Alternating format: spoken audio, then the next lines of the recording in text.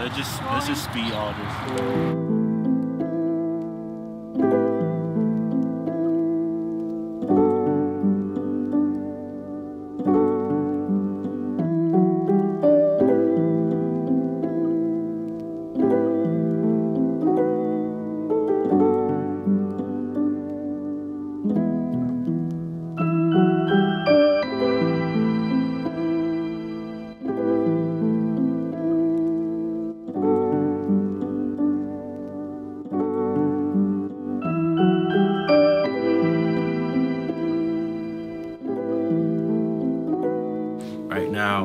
Capitol Hill, Washington, D.C. Uh, just camera prepping these cameras before our event later on today.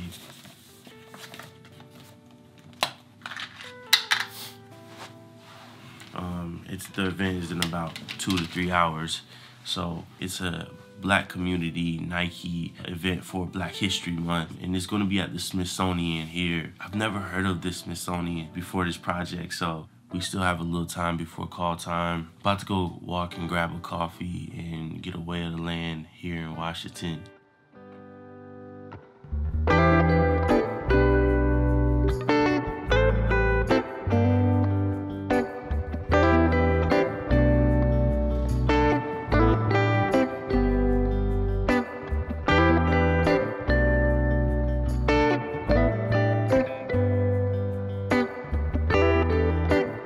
Looking in the area to see what kind of stores I had around me, and um, I seen a Uniqlo. And every time I'm in a city that has like a Uniqlo that's close, I try to hit it to grab some more some more beanies. These beanies that that I, I wear. The thing about this material on this beanie is like after a while it starts beating up and it just looks um, worn. It doesn't look as fresh. I, I like this material. It doesn't seem like it's gonna beat up too much. I try to get the more simple uh, style beanies and the smaller ones. Just no logos, no branding. A lot of beanies that you find are just like too big. Um, so I try to go for the smaller beanies and then like I double fold them so they can, you know, just fit on my head a little better. But so I got a dark gray beanie, and the other one I got is black. You know, the go-to black.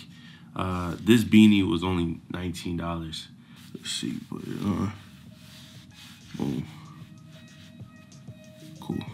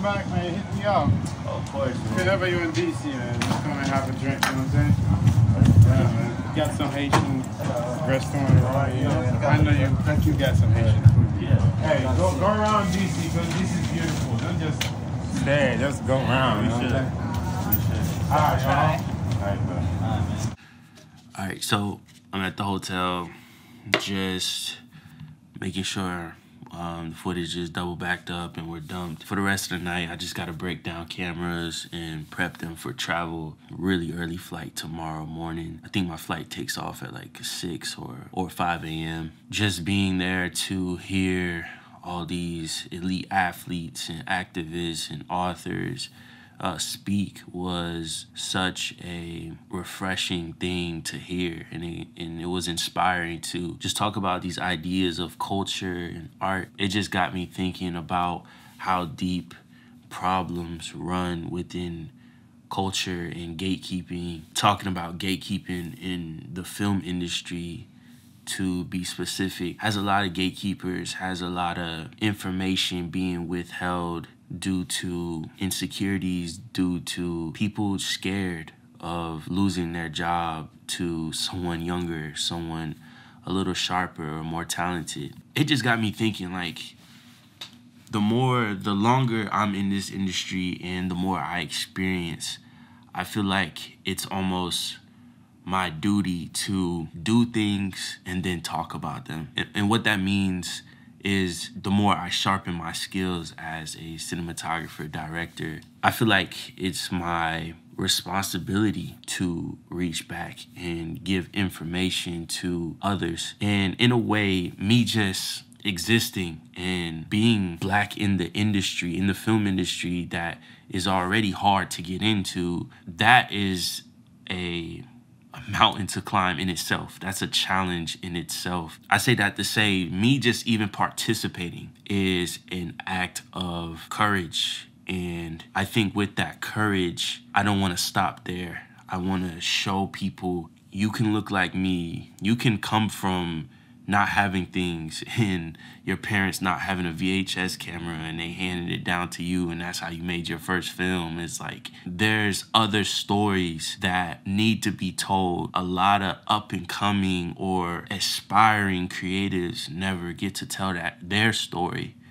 because they've never seen someone that looks like them tell theirs that is the most powerful thing. Just seeing someone that looks like you doing something other than things you see on social media like careers like basketball, football, you know, sports and just these things that as a young kid growing up, these things look or feel more attainable just because that's where you see the most representation. I just feel like it's my responsibility to show people that there's this whole world over here and you can be something within that world.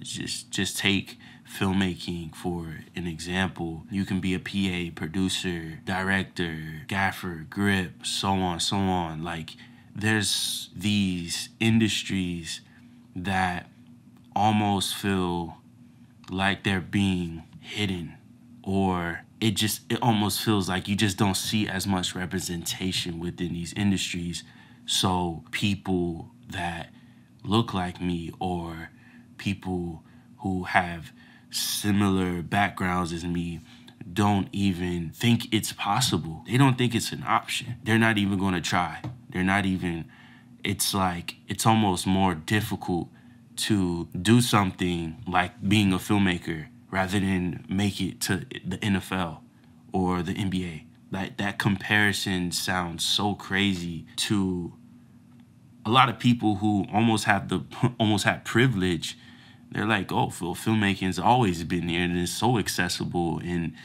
just go buy a camera or just go pick up your phone. I think it's a lot deeper than just picking up a phone or picking up a camera. It's like people want to know where they can actually take it they don't want to waste their time. They don't they want to see themselves doing it at the high level and believe that it's actually possible. And it's really hard for people to believe that it's actually possible if they've never seen anyone look like them, do it and tell their story and vocalize the process and the information that is needed to actually believe it. For example, and I think I'll, I'll end it here. Growing up, if you want to be an NFL player, there's almost step by step information readily available for a young kid who wants to be, make it to the NFL.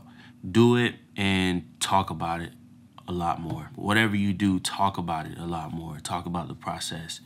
When you do something, you accomplish it and you get some success or notoriety or accomplishments, talk about it. Talk about the process. Talk about the information that people could use to do the same thing and possibly more.